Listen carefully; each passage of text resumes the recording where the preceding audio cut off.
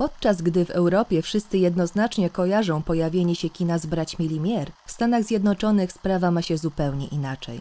Tutaj za wynalazcę kina uważa się Thomasa Edisona, który już w 1889 roku wraz z Williamem Kennedym Dixonem zarejestrował krótki film Monkey Shine Number One, co oznacza m.in. rodzaj żartu. Dzieło to przedstawiało białą sylwetkę mężczyzny poruszającą się na czarnym tle. Kino amerykańskie było inne niż europejskie nie tylko z racji uwarunkowań technicznych. Społeczeństwo ulepione z różnych nacji stanowiło tygiel obyczajowy i rasowy. Każdy był tutaj imigrantem, część wbrew własnej woli. To nowe społeczeństwo oczekiwało od kina i w ogóle szeroko pojętej rozrywki czegoś innego niż stara Europa. Klasycznym przykładem nowego Amerykanina był William Kennedy Dixon, Anglik urodzony we Francji, który jako dwudziestolatek wyemigrował do Stanów Zjednoczonych. Utalentowany technicznie znalazł zatrudnienie u słynnego Thomasa Edisona. Tu wraz z Williamem Heissem około roku 1888 rozpoczął eksperymenty z rejestracją ruchomych obrazów dzięki skonstruowanemu przez siebie kinetografowi. Zapis odbywał się na płytkach celuloidowych, a efektem doświadczeń był wspomniany Monkey Shine Number One, Powitanie Dixona czy Bokserzy. Te krótkie filmiki powstały w latach 1889-1891, a równocześnie powstawało urządzenie, które umożliwiło ich oglądanie. Kinetoskop, czyli urządzenie pozwalające oglądać krótki film jednej osobie naraz. Jego forma dopracowana została po zastosowaniu w 1891 roku świeżo wynalezionej taśmy filmowej Eastman zamiast celuloidowych płytek. Gotowy w 1892 roku kinetoskop, Edison zdecydował się wprowadzić do produkcji dopiero dwa lata później, powołując do życia spółkę Kinetoskop Company i tworząc sieć dystrybucji.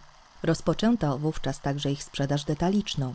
Do tego czasu Edison dokonywał prezentacji urządzenia w różnego rodzaju spotkaniach autorskich, jak chociażby tym z 22 marca 1891 roku z Narodowym Stowarzyszeniem Klubów Kobiecych w West Orange. W 1983 roku kinetoskop zaprezentowany został w Brooklyn Institute of Art and Science, gdzie pokazano m.in. film Sceny z życia Kowali z aktorskim udziałem pracowników Edisona w rolach Kowali. Kilka pokazanych wtedy produkcji stanowiło jedynie kroplę w morzu tego, czym dysponował już Edison. Podczas gdy ten ostatni promował siebie, Dixon zajęty był kręceniem filmów bazując na 35 mm taśmie Eastman z perforacją po bokach i stale udoskonalając urządzenie. Do tej pory powstało ich już ponad 125. W 1892 roku powstało także pierwsze studio filmowe Black Maria w West Orange. Od początku zostało ono zaprojektowane tak, by ułatwić kręcenie filmów Temu służył na przykład podnoszony dach, pozwalający na dobre oświetlenie planu filmowego. Co ciekawe, sam Edison wykazywał dość umiarkowany entuzjazm wobec nowego wynalazku. Dość powiedzieć, że ten chorobliwie wyczulony w kwestii wszelkich praw autorskich i patentowych wynalazca kinetoskop i kinetograf opatentował dopiero w roku 1896. Być może wpływ na to miał fakt, że zasadniczo były to konstrukcje Dixona, a nie jego własne. Ten ostatni zresztą dokonywał kolejnych eksperymentów. Po serii filmików z gwiazdami rewi z Dzikiego Zachodu, Williama Codiego, na przykład Taniec Ducha Siuksów czy Taniec Byka, czy też rejestrującymi walki bokserskie, nakręcił w 1895 roku kolorowy taniec serpentyną z udziałem tancerki Annabel Whitford. Znaczący, chociaż nie w aspekcie technicznym, a prawnym, był nieco wcześniejszy film Kichnięcie Freda Otta, na którym zarejestrowano tytułowe zjawisko fizjologiczne po zażyciu tabaki. Ten trywialny obraz był jednak pierwszym filmem z zastrzeżonymi prawami autorskimi. Na przełomie 1894 i 1995 roku powstał niezwykle ważny film zwany jako eksperymentalny film dźwiękowy Dixona. Prezentuje on autora grającego na skrzypcach i dwóch tańczących mężczyzn. Dźwięk synchronizowany z obrazem zarejestrowano osobno na fonografię. W ten sposób powstał kinetofon, urządzenie łączące możliwość rejestracji obrazu wraz z dźwiękiem.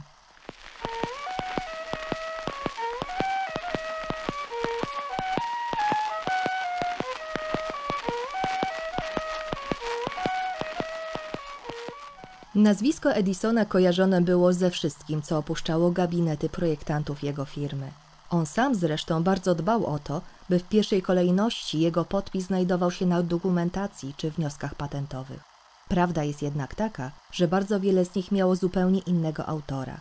Tak było w przypadku Dixona, który w zasadzie w całości odpowiadał za filmową część Edison Company. W 1896 roku, mając dość sporów z pracodawcą i przypisywania sobie przez niego autorstwa kinetoskopu, kinetografu i kinetofonu, Dixon w końcu opuścił firmę. Edison na jego miejsce postawił Williama Hayesa. Hayes miał się zajmować jedynie kręceniem filmów i trzeba przyznać, że wykazywał w tym dość duży talent – jego autorstwa była m.in. Egzekucja Marii, królowej Szkocji, pierwszy film fabularny i jeden z pierwszych, w którym zastosowano trik filmowy polegający na zatrzymaniu kamery, zmianie ustawienia rekwizytów i ponownym uruchomieniu kamery. Przypomnijmy, że dokładnie tak zaczął swoją przygodę z efektami specjalnymi Georges Méliès. Drugim filmem Heisego był skandalizujący pocałunek, przedstawiający długi pocałunek pary nowojorskich aktorów. Kariera utalentowanego reżysera nie trwała zbyt długo. Właściwie jej schyłek rozpoczął się w momencie, gdy Edison zorientował się, że jednoosobowy kinetoskop nie ma przyszłości w obliczu tego, czego w Europie dokonali bracia Limier. W tym okresie, oprócz firmy Edisona, ruchomymi obrazami zajmowały się jeszcze dwie wytwórnie Lambda i Raff Gaimon. Ta ostatnia, należąca do dwóch spekulantów naftowych, już w 1894 roku wynajęła od Edisona pewną liczbę kinetoskopów. Zachęceni popularnością i rentownością przedsięwzięcia właściciele firmy poszli o krok dalej. Zamiast kupować filmy od Edisona, zaczęli produkować własne, wykorzystując własnej konstrukcji urządzenia. Ani Raff, ani Gaimon oczywiście ich osobiście nie zbudowali. Zatrudnili w tym celu Thomasa Armata i Francisa Jenkinsa, którzy skonstruowali tzw. Tak witoskop, aparat projekcyjny umożliwiający wyświetlanie filmów na ekranie. Pod koniec 1894 roku został on zaprezentowany publicznie, po czym prawa do jego produkcji wykupił Edison. Odtąd znany był, a jakże jako Edison Witoskop. Dodatkowo podkupił on naczelnego reżysera konkurenta, Jamesa Henry'ego White'a, który został faktycznym następcą Dixona w Black Maria. Bardzo szybko zminimalizował rolę Williama Hayesa i doprowadził w końcu do jego zwolnienia. White wyszedł z kamerą poza Black Marię. Przez rok nakręcił ponad 130 krótkich dokumentów przedstawiających krajobrazy Stanów Zjednoczonych, przykład wodospad Niagara, czy reportaże w rodzaju Amerykańska piechota ląduje w Daikiri z okresu wojny hiszpańsko-amerykańskiej. Filmy te w swoim czasie budziły sensację, a do dzisiaj pozostają nieocenionym źródłem wiedzy o epoce, w której powstały.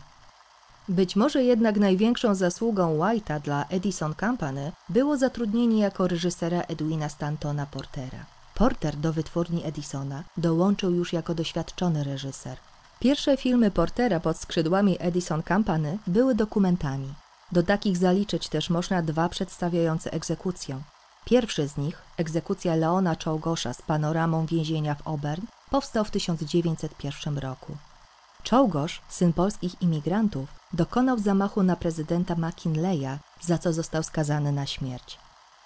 Edison starał się uzyskać zgodę na rejestrację wykonania wyroku, jednak ostatecznie jej nie otrzymał.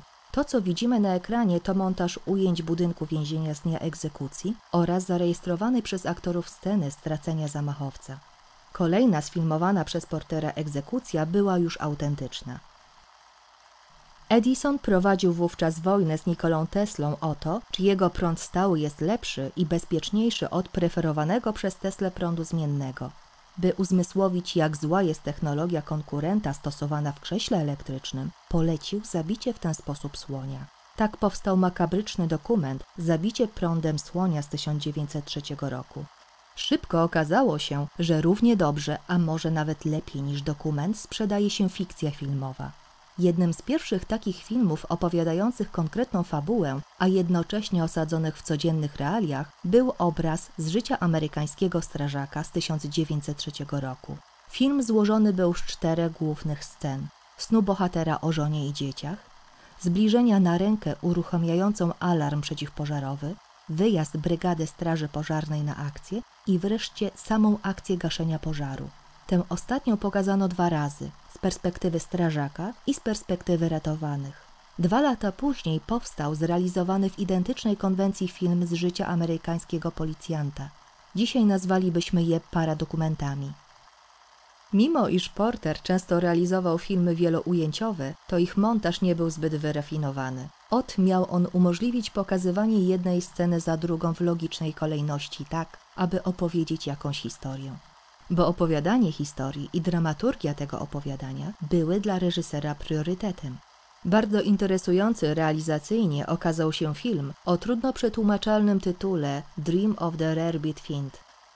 Dosłownie mógłby to być sen diabła z kanapki z serem. Oparty był na serii popularnych wówczas w prasie pasków komiksowych, przedstawiających koszmary senne wywołane z jedzeniem walizkiej kanapki z dojrzewającym, zasmażanym serem nazywanym Welsh Rarebit. Porter zastosował tu liczne ujęcia trikowe, nakładane zdjęcia i przenikania, ukazując surrealistyczny wręcz obraz koszmarów dręczących przejedzonego nieszczęśnika w czasie snu. W uratowanym z Orlego Gniazda mamy z kolei historię chłopca porwanego przez olbrzymiego orła, z którym walkę stacza jego ojciec. Film ten jest o tyle ważny, że zadebiutował w nim jako aktor późniejszy absolutny gigant kina David Walk Griffith. Niewątpliwie najważniejszym filmem Portera i jednocześnie kamieniem milowym kinematografii był Napad na Ekspres z 1903 roku. Pozornie pod względem realizacji niewiele różnił się on od z życia amerykańskiego strażaka. Scena napadu, rabowanie pasażerów, nieświadomi osadnicy, pościg i zabicie bandytów. Tu jednak udało się to wszystko połączyć w perfekcyjny sposób. Dramaturgia nie wynikała już z samej fabuły, lecz opierała się na sposobie jej pokazania, czyli narracji. Właściwie dopiero w tym momencie narodził się film fabularny.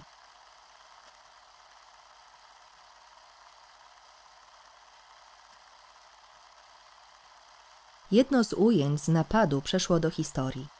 Grający bandytę Justus Burns celuje bezpośrednio do publiczności z rewolweru. Ujęcie było tak kontrowersyjne, że wyświetlające filmy kina dostawały go jako osobną rolkę taśmy i same decydowały, czy ma zostać pokazane w czasie projekcji i w którym miejscu. Współpraca Portera z Edisonem trwała do 1908 roku. Wtedy, co w przypadku jakichkolwiek kooperacji z Edisonem było normą, panowie śmiertelnie się pokłócili i Porter odszedł, zakładając nieco później wytwórnię Rex i pracując nad udoskonaleniem projektora Simplex, który stał się potem standardem w kinach Ameryki i Europy. Ostatecznie reżyser wylądował w wytwórni Adolfa Zukora, gdzie realizował już dłuższe filmy, np. Hrabiego Monte Cristo z 1912 roku czy Test z Krainy Bush z 1914 roku ze słynną Mary Pickford. Drugą liczącą się firmą był Biograph, założony m.in. przez byłego współpracownika Edisona Williama Dixona, a także Hermana Kasslera i Henry'ego Marvina. Potęga biografu zasadzała się na tym, że jego założyciele dzięki swoim umiejętnościom byli w stanie samodzielnie skonstruować własne urządzenia do projekcji i rejestracji obrazu. Produkowane filmy były bardzo różne, od błahych fabułek jak Uciekający lunatycy z 1903 roku, poprzez liczne filmy dokumentalne, po serie portretujące ważne osobistości. Dixon stał się pierwszym filmowcem, który uzyskał zgodę na wejście do Watykanu i sfilmował papieża Leona XIII. Założył też studio filmowe w Nowym Jorku z kilkoma europejskimi filiami. W 1903 roku dość nieoczekiwanie Dixon wycofał się całkowicie z realizacji filmów i w Londynie założył laboratorium zajmujące się tworzeniem nowych wynalazków. Do roku 1907 Biograf był de facto w stanie wojny patentowej z Edisonem, co żadnej z firm nie przynosiło pożytku. W końcu podpisano rozejm i powołano do życia niesławny trust filmowy, zwany też jako Trust Edisona, który grupował cały szereg wytwórni amerykańskich i europejskich działających na rynku w Stanach Zjednoczonych. Jego organizacja kontrolować miała wszystko, od ilości i długości trwania filmu, wytwórnie rozliczano z długości zużytej taśmy filmowej, po ceny biletów w poszczególnych kinach. Wśród wielu mniejszych firm wcielonych do trustu wyróżniała się wytwórnia Vitograph, Stewarta Jamesa Blacktona. Notabene kolejny były współpracownik Edisona. Powstały tam głównie pionierskie filmy animowane, jak komiczne fazy śmiesznych min, Hotel, w którym straszy, czy Magiczne wieczne pióro.